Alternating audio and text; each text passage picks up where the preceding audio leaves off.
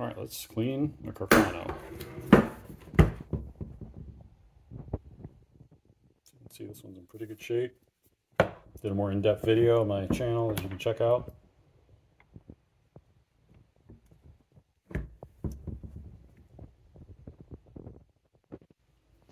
Little chip here.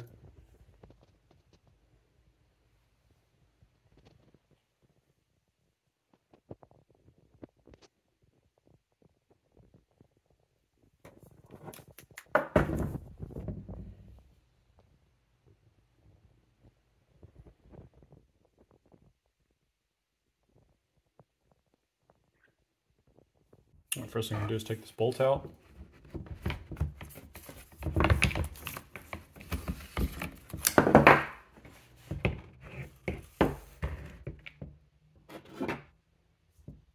The bolt's in pretty good shape. Take what the bolt I like to do is decock it. Simply twist it. And press this piece right here.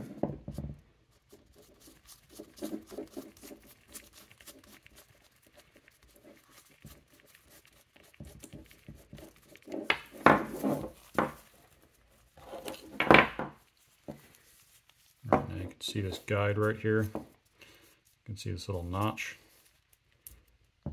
Just slide it up. Right, just got to slide it back here. A little cutout. Comes right out. I'll go ahead and just toss them into my pot right here. Gotta boil and card them anyway. It's a good way to keep them from getting lost. Gonna look at this screw here. See if we can get it out. It's turning pretty easy. Now we have all of our bolt pieces. Got a pretty nice spring here.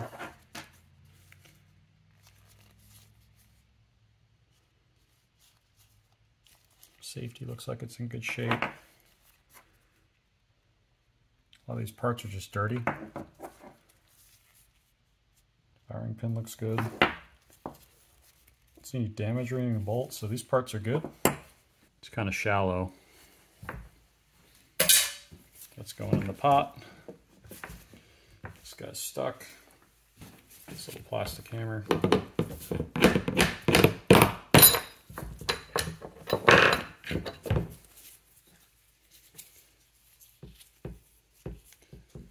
little bit of rust, but not bad. next we're going to look at this middle band here.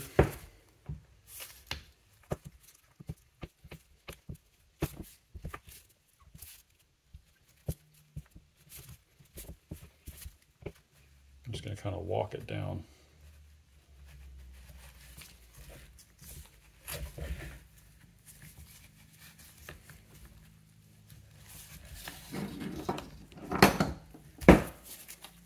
Slid it off. You can see that crack does go all the way through, but not bad.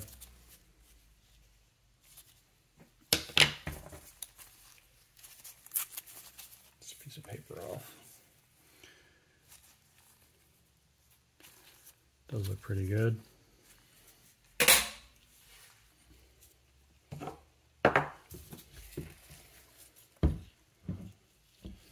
Next, we'll take a look at this trigger guard. Remove that. Ourselves a wider bit here.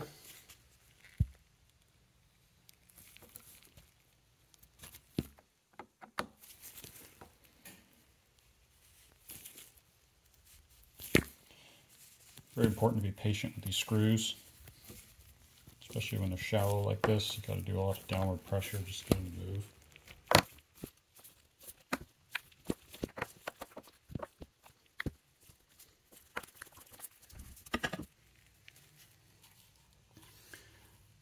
You can see this screw is pretty shallow. I might replace this one. I do have a Carcano that I got as a parts gun that I might swap this out. All right, next will be this one. We got a good fit here. Go for a little thinner one.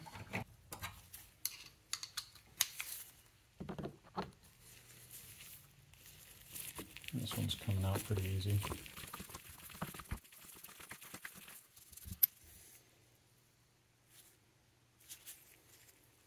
Screw's actually pretty nice.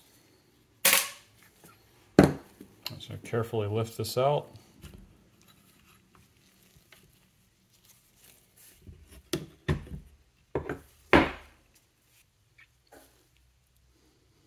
Looks dirty, but in pretty good shape. Don't see any damage to it. Just needs a really good cleaning. Take a look at the receiver here.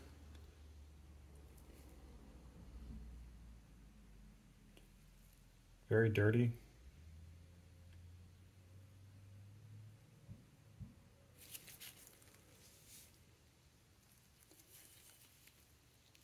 I don't see any damage to it.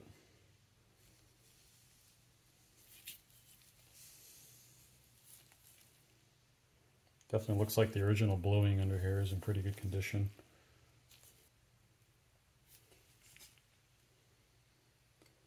As far as the stock goes, looks like it's in pretty good shape.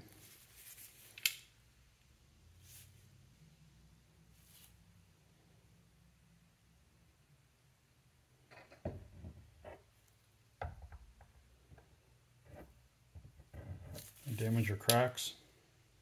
I'm going to take a look at this rear sling swivel.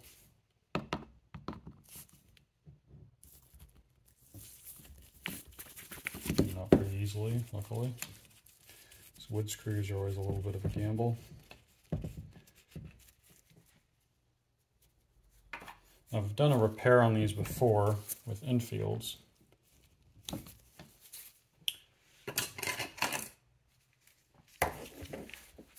sometimes you have to basically re-drill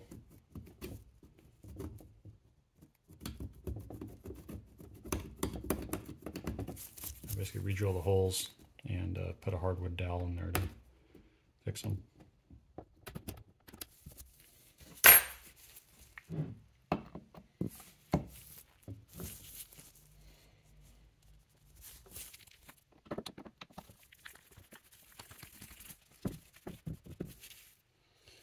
Definitely want to clean this slot out really well. It's full of gunk. Let's get that out safely. You can see some rust was already forming on the bottom. Eventually that would turn into pitting and damage the wood, so it's good that I took this out.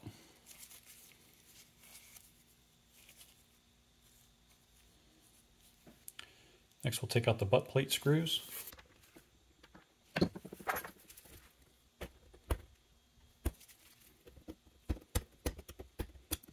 These are a little softer as brass, but I can kind of scratch away at this without worrying about scratching any of the steel. I, can scratch it the steel and won't affect it.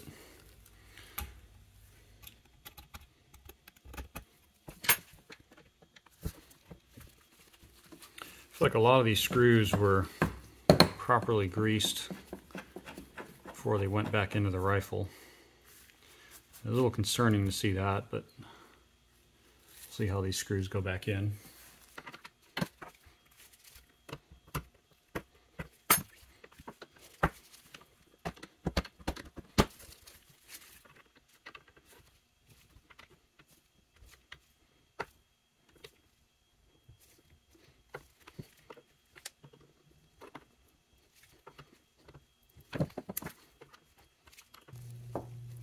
loose enough to pull out. Fingers. Took a little angle here, but you can see the butt here is in decent shape. see a stamp there, I'll probably clean up pretty well. But the holes seem okay. Very fine steel wool, some oil on it. So this is 4-0. So it's very, very light duty. You have to worry about damaging the steel or the finish that's on it. This is just to get all that hardened gunk off of it before you boil and card it.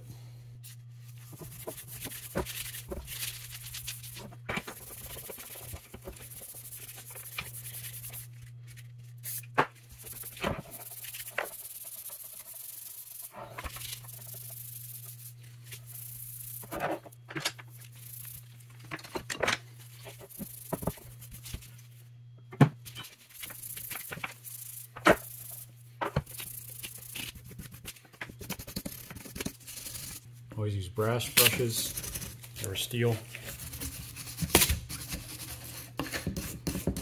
You can go to town with a brass brush and not damage the steel or the finish.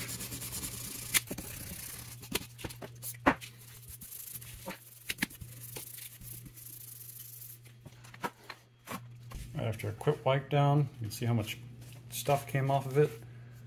You can see just after a real quick scrubbing, some very fine steel wool and some oil. A lot of the stuff is gone. You can see a really nice finish underneath here. So it should boil and card really nicely on these exposed areas. See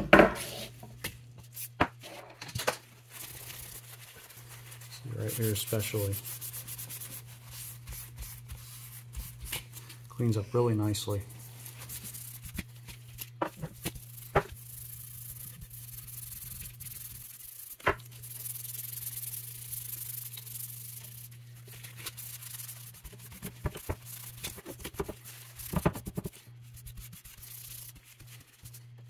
So always go back through with some of these harder to reach areas with a brush and you know you can just brush this out pretty easily. See that? And then I'll go through with some Q-tips, clean that out really well. You can see just a quick pass can get a lot of the stuff out of there. Some of this more hardened stuff, hit that with a brass brush. See it starts to come off. You can also let some oil sit on it.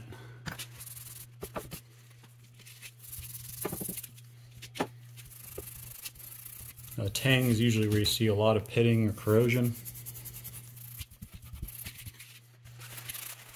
Doesn't look too bad.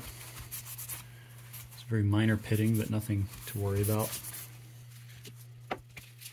I like to take apart the trigger once I get it a little cleaned up, um, mainly because some of these pins can be stuck with some of this hardened grease. So I like to clean it off first and then I'll be able to tap these pins out a little easier. And I don't want to risk damaging them.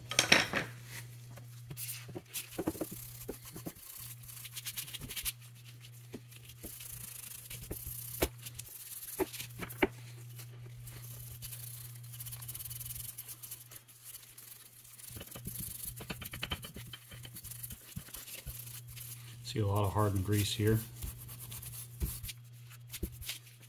Some of it might need to be scraped out with either a brass or plastic scraper that I have.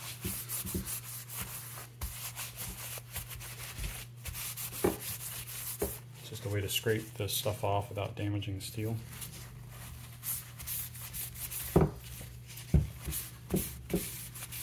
Never use like wire wheels or Dremels or anything like that to remove this stuff. Do it by hand.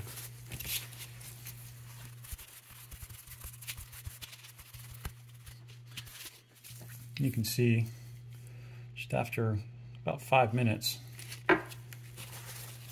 it's looking pretty good. All right, so I got a nice brass brush here. I'm gonna go down the bore with it. Got it oiled, and this is basically to push out a ton of crud that's in there. It's basically packed with grease. So we're gonna use this to clean it out and see how it looks. So you can see the bore is actually very nice on this one. There's the top handguard. I got some very fine steel wool. Got a little bit of linseed oil in there, some boiled linseed oil. I'm just going to rub it in here.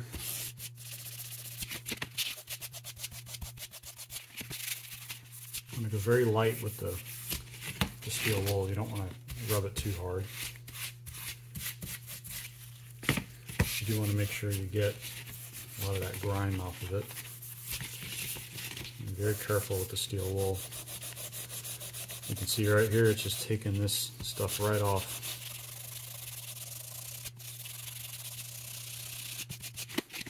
You kind of see the before and after here.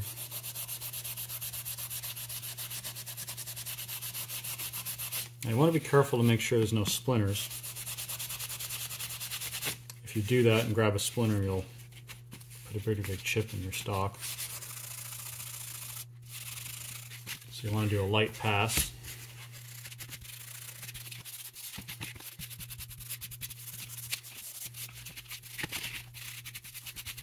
Now that we're cleaning it, you can definitely see that crack a little easier.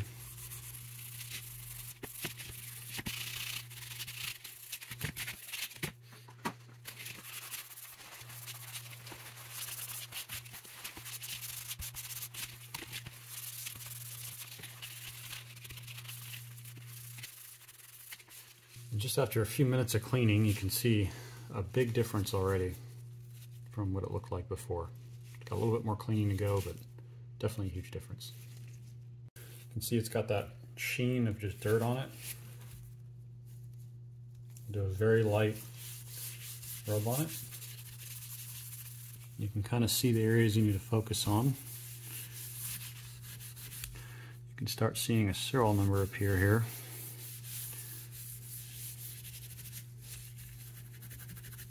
So this is pretty piece of wood or grime. You can see here, you can start seeing the numbers show. It's like a very nice finish underneath the dirt on the wood.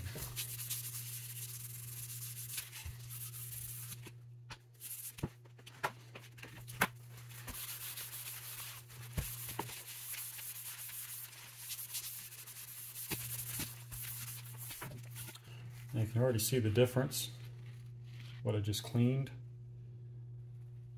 with the dirty part of the stock. It's much darker. It's got that sheen of dirt over it. Whereas what I just cleaned, you can really see the nice grain in the wood, the finish. That boiled linseed oil really makes it pop.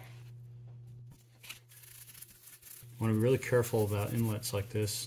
I want to make sure the edge is strong, doesn't have any weak points we start rubbing in there.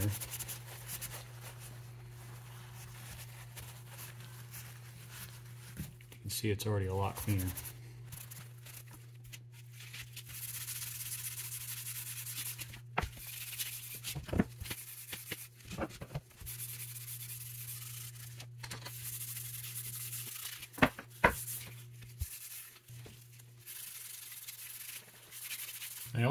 Steel wool in the first pass if you got a lot of dirt. After that, you can just use rags. And only very, very fine steel wool. This is 4-0 grade, so very fine.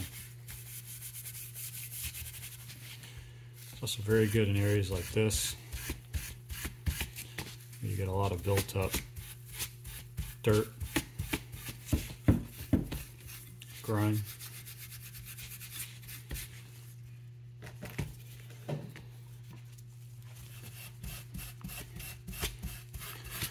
Very nice the Italians did this, put a piece of steel here. Brass would be even better, but I'll take the steel. Now it keeps the wood from getting damage to it.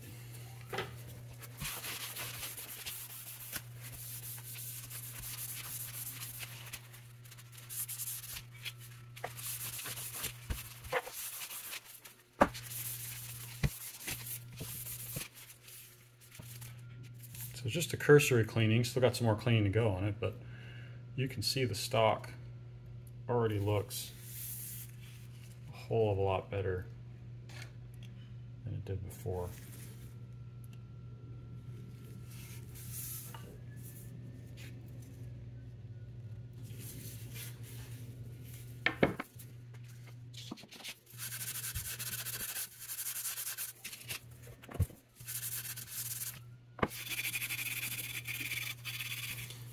See that hardened grease,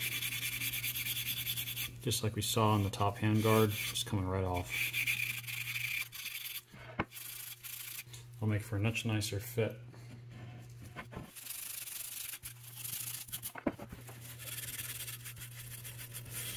Now, if you're not experienced with these stocks, you might want to take your time. I'm going a little fast, but I got a pretty good eye for wood damage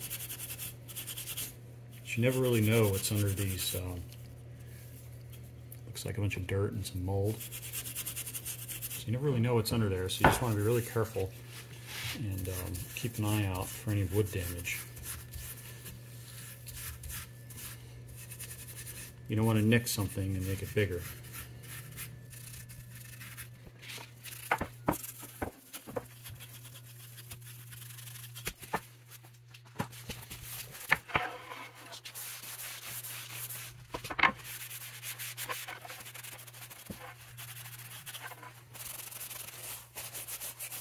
Now, a deeper parts, we'll probably get that in the second go around. We'll get a brush in there.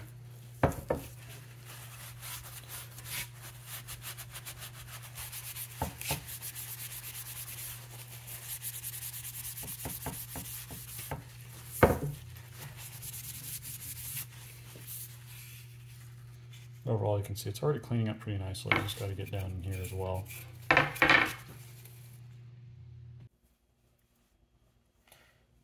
Got the receiver and the barrel pretty much cleaned up. See, it's in pretty good shape.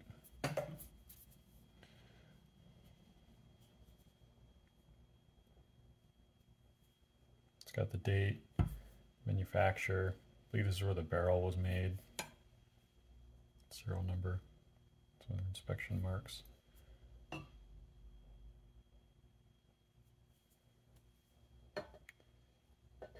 See the finish looks pretty good on it.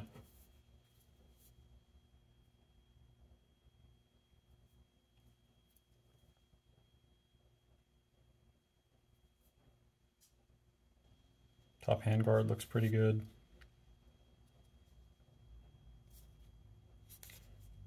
Linseed oil did a pretty good job with it. You can see the butt right here. Cleaned up well. Well as the rest of the stock. Looks pretty good. As well as in the inlay here.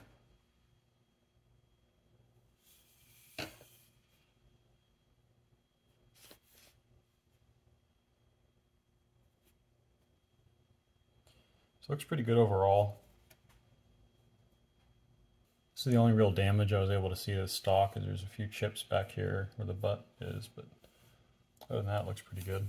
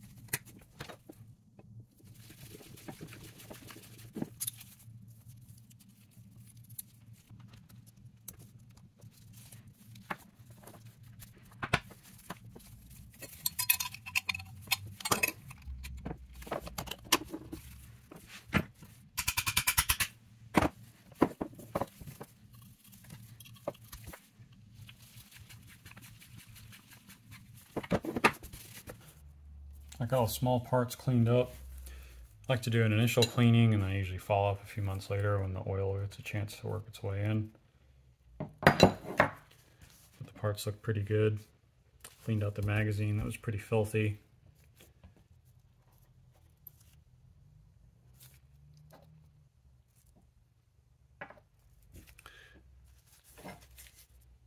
That plate looks a lot better than it was before.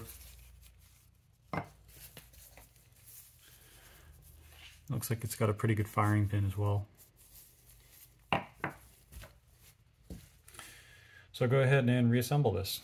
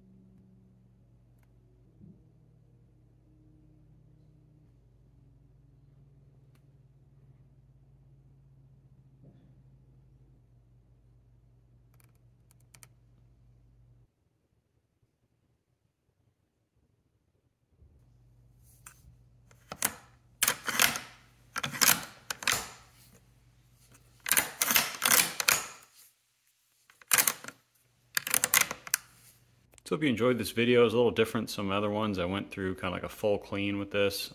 I skipped ahead a few parts and fast forwarded it to make it a manageable length. But I covered the entire process of disassembling this Carcano, cleaning it, reassembling it.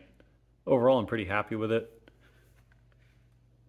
Not a lot of finish remaining, but overall, a lot of the markings, including the manufacturer mark, the rear sight, and other parts, pretty good condition. Aside from this gouge in the stock, which I'll fix at a later date, the stock's in really good condition as well. There's a minor crack here, but that's repairable as well.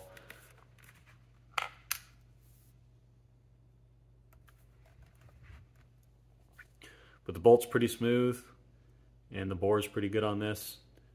So overall, again, really happy with it. Hope you enjoyed watching this video. If you have any questions about this rifle, the process I used to clean it, or any other questions, feel free to drop them in the comments. If you'd like to see more of these videos, feel free to subscribe and sign up for alerts. And as always, thank you for watching.